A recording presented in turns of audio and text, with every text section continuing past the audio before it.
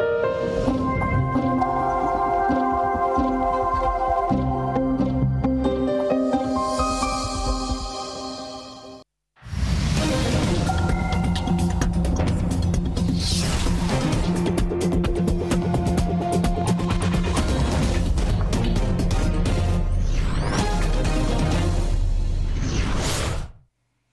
В ефірі інформаційна програма День за днем в студії Ірина Науменко, сурдопереклад Лілії Савицької. Вітаємо вас. Дивіться у програмі.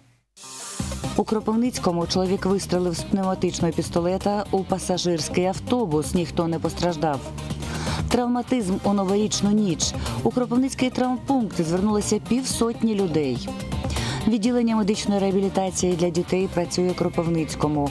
В обласному спеціалізованому будинку дитини проходять курс лікування діти з інвалідністю, інтелектуальними та сенсорними порушеннями.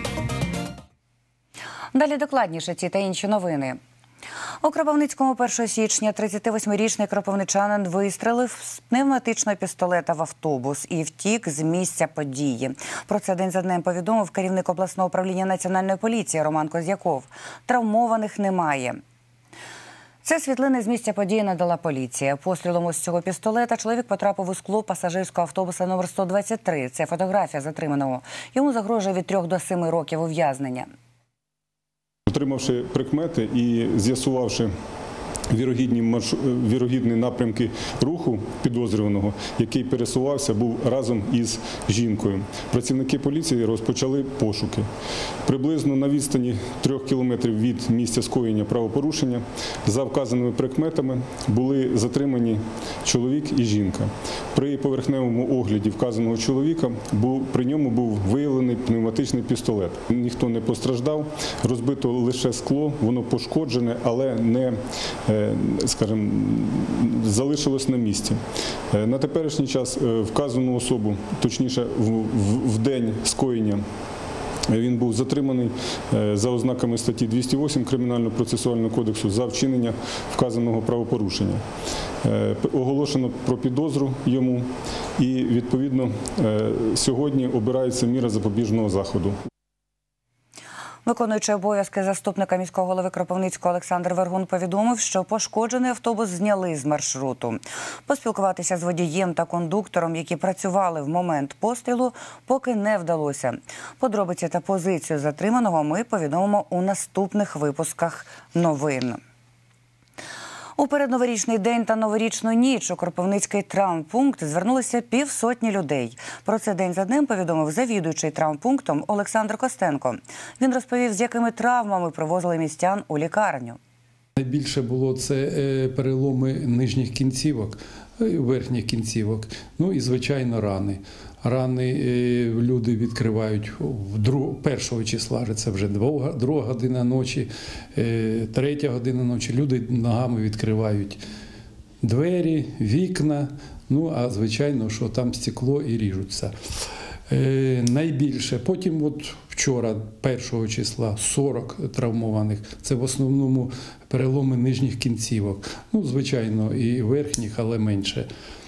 Е, 30-го, е, 29-го, там 43, 40. Ну, травмованих зараз дуже багато. П'ять тролейбусів з автономним ходом прибули в Кропивницький. Про це день за днем повідомив виконуючий обов'язки заступника міського голови Олександр Вергун. Тролейбуси прибули 30 грудня. Зараз проходять технічне обстеження. Дані тролейбуси мають по своїх характеристиках технічних автономний ход, які можуть без контактної мережі рухатися на відстань до 20 км. Орієнтовно з 8-10 січня ці тролейбуси в тестовому режимі будуть виїжджати на ті маршрути, на які ми запланували. Це сполучення 101 мікрорайон. Автостанція номер 2 вулиця Яновського, Садова, Шевченка. І далі велика перспективна, е, аеропорт, е, вулиця Короленка, Лісопаркова, можливо, також продовжиться до вулиці Холодноярської. Нові зарплати і пенсії, нові платіжки за комунальні послуги чекають на українців цього року. Віднині набирає сили закон про державний бюджет. Він зокрема і передбачає підвищення виплат. Від сьогодні зросла ціна на опалення та гаряче водопостачання. Нові тарифи в грудні затвердила Національна комісія, що здійснює регулювання у сфері енергетики та комунальних послуг. Пов'язано це з подорожчанням газу, пояснила голова комісії Оксана Кривенко. Перші платіжки з новими нарахуваннями українці отримують у лютому. Наскільки та за що українцям доведеться платити більше? Дивіться далі. Тарифи зростуть на різні суми від 11 до 24 відсотків, залежно від виробника. Запрацює монетизація субсидій, тобто допомогу на оплату комунальних послуг можна буде отримати живими грошима на рахунок, який відкриють в Ощадбанку. З 1 січня субсидії монетизують тим, хто звернувся по них уперше. Починаючи з травня, гроші отримуватимуть ті, кому призначено субсидію на неопалювальний сезон. Хто одержував субсидію протягом опалювального сезону за старою схемою, має подати новий пакет документів. І з 1 жовтня має відбутися повний перехід на монетизацію субсидій. З 1 січня, згідно з новим бюджетом, зросла мінімальна зарплата на 450 гривень і тепер становитиме 4173 гривні. Зокрема, платня викладачів вишів збільшилася на 20%, згідно з рішенням уряду від 19 грудня. Інші педагогічні працівники та бюджетники отримуватимуть більше на 9%. Зросли й зарплати військовослужбовців Збройних сил України. За словами міністра оборони Степана Полторака, командир бригади, якому раніше платили 17-18 тисяч гривень, тепер отримуватиме майже 26 тисяч. Командир батальйону замість 14 одержуватиме 19-23 тисячі, а командир роти 16 тисяч гривень замість 12. Військовослужбовцям за контрактом платитимуть щонайменше 10 тисяч гривень. Військовикам, задіяним у зоні проведення операції об'єднаних сил, не менш як 20 тисяч. На 30% зростає також зарплата поліцейських та рятувальників. Зросла й мінімальна пенсія для тих пенсіонерів, яким виповнилося 65 років і які мають 30-річний стаж. Більше на 25% одержуватимуть і військові пенсіонери. З 1 січня право на пенсію за віком у 60 років дістануть ті, хто має повних 26 років трудового стажу. Ті, чий стаж менший, але перевищує 16 років, зможуть виходити на пенсію у 63 роки. У Кропивницькому в обласному спеціалізованому будинку дитини працює відділення медичної реабілітації для дітей. Його пацієнти діти з інвалідністю, інтелектуальними та сенсорними порушеннями. У закладі вони проходять 21-денний курс лікування. Перебувають разом із мамами або кимось із рідних. У будинку дитини працює також цілодобове відділення, у якому перебувають 78 вихованців. Це діти, позбавлені батьківського піклування, сироти, діти з інвалідністю та ті, які які тимчасово живуть у закладі через скрутний матеріальний стан батьків. Як проводять курс лікування у відділенні медичної реабілітації та які умови там створили, розповість Ольга Склярук. Це сестри Вікторія та трирічна Єлизавета Терещенки у кабінеті фізіотерапії їдять кисневий коктейль. Вони приїхали зі Світловодська на другий курс лікування, бо часто хворіють на застуду, розповідає мама. Наш педіатр е, порадив нам, е, щоб оздоровити діток, під'їхати сюди і е, зайнятися їх оздоровленням. І дав нам путівку. Оснащення кабінету фізіотерапії дозволяє проводити процедури дітям із різними діагнозами, говорить медсестра Вікторія Нікітіна. У нас доволі оснащений кабінет, як для закладів таких. У нас є апарати для різних видів фізіотерапії. Це і світлова терапія, і теплова терапія, і електротерапія.